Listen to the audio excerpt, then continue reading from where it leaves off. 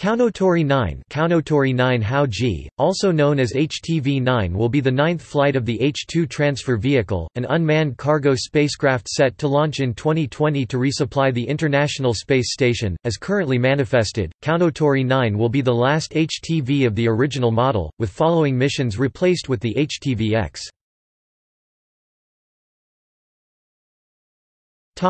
References External links